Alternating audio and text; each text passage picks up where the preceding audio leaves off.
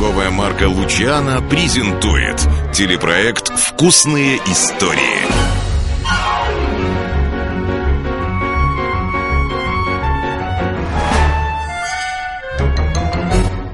Мое почтение, дамы и господа, с вами вкусные истории от торговой марки «Лучана». Сегодня вы услышите историю о чаепитии, интересные факты о чае и, конечно же, побывайте в гостях у кондитеров торговой марки «Лучана». Чай по праву завоевал всеобщую любовь сотни лет назад. Ученые всего мира ведут серьезные исследования свойств чая, чтобы узнать, чем он полезен. Обратимся к научным фактам. Чай – один из древнейших и полезных напитков на Земле. И это правда, если мы говорим о настоящем, качественном чае и его правильном употреблении. Вот самые известные факты о пользе чая. Чай стимулирует жизненные функции организма, повышает работоспособность, обладает бактерицидными и противовоспалительными свойствами. Содержащийся в чае витамин П укрепляет стенки кровеносных сосудов и предотвращает внутренние кровоизлияния. Зеленый чай участвует в процессах регуляции уровня сахара в крови. Чем выше сорт чая, тем больше в нем калия, который необходим для нормальной деятельности сердечно-сосудистой системы. Чай стимулирует процессы пищеварения и способствует лучшей усвояемости жирной пищи.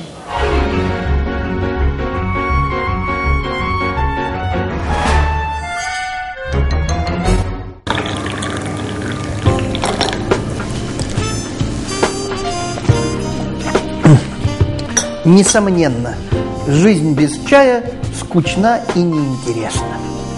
О чае сказано так много, что вы наверняка удивитесь и спросите, а что же можно еще о нем рассказать?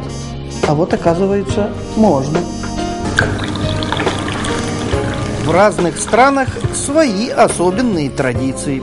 Россияне предпочитают пить чай с вареньем, англичане с молоком, в Китае с жасмином, а в Америке обожают чай со льдом.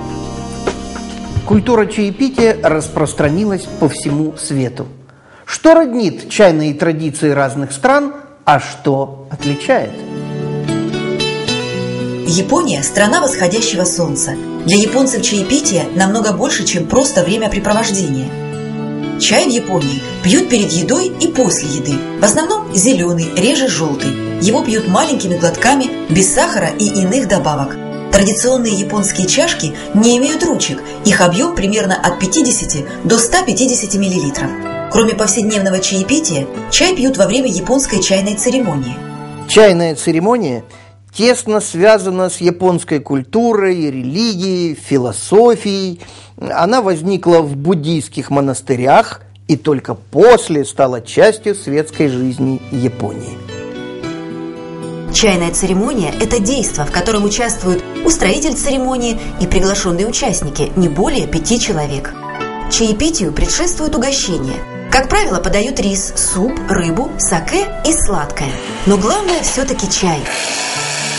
Чаепитие начинается после трапезы. Японцы заваривают чай не самым обычным способом. Тяною включает в себя приготовление двух видов напитка – крепкого и слабого. Самое главное здесь правильно выбрать количество чая и температуру воды – Гости пьют чай из одной чаши. Первым пробует главный гость. Затем он вытирает край чаши салфеткой и передает ее второму гостю и так далее.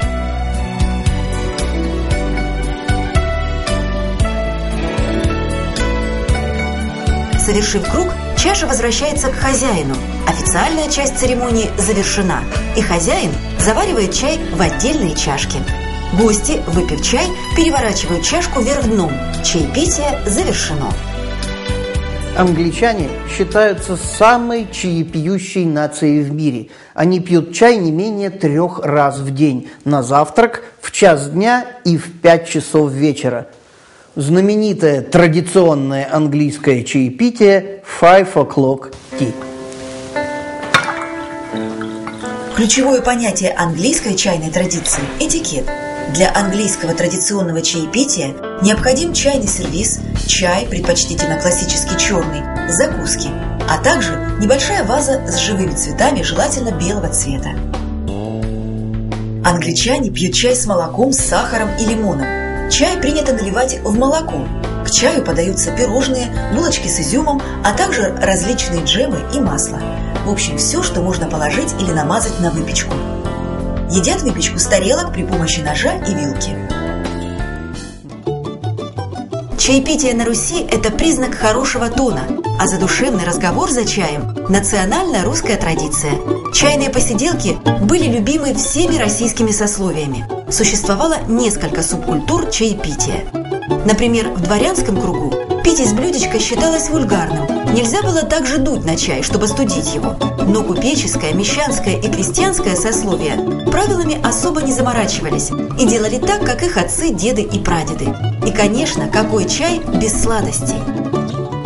Зародившись на Востоке сотни лет назад, чайные церемонии вошли и в нашу культуру. И теперь мало кто из нас откажет себе в удовольствии неспешного разговора за чаем с тортом, вареньем и пирожными. Да уж, от пирожных к чаю отказаться трудно. Практически невозможно. А что мы знаем о них? Вот где и как их изготавливают? Сейчас вкусная часть нашей программы. За ответами на наши вопросы мы отправимся к мастерам сладкого искусства, кондитерам торговой марки «Лучана».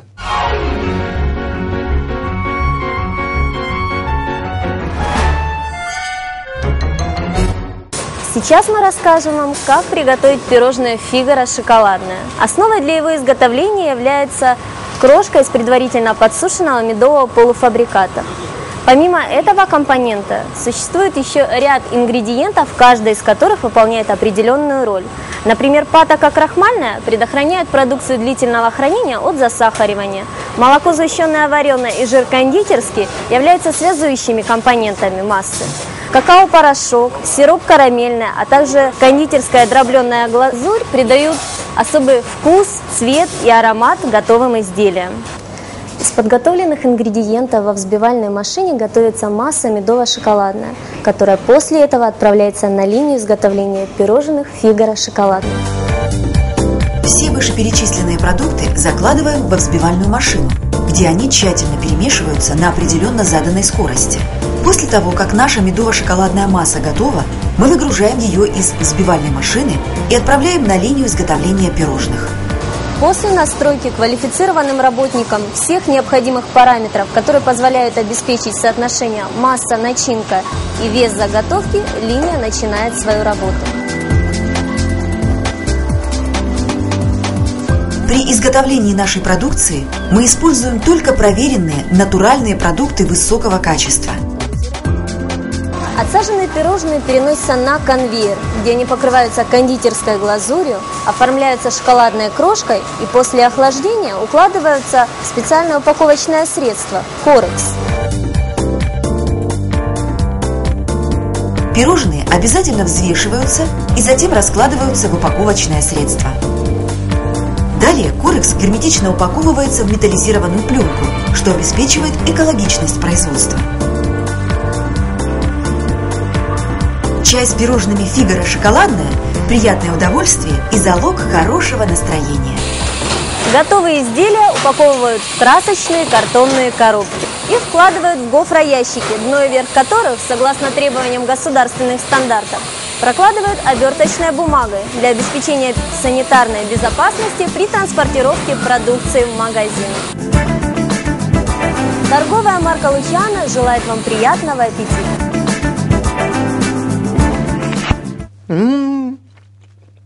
Просто объедение. Попробуйте. А я прощаюсь с вами. В следующей программе история о светлом празднике Пасха и секреты творожного торта от торговой марки Лучана. Так что смотрите вкусные истории. До встречи!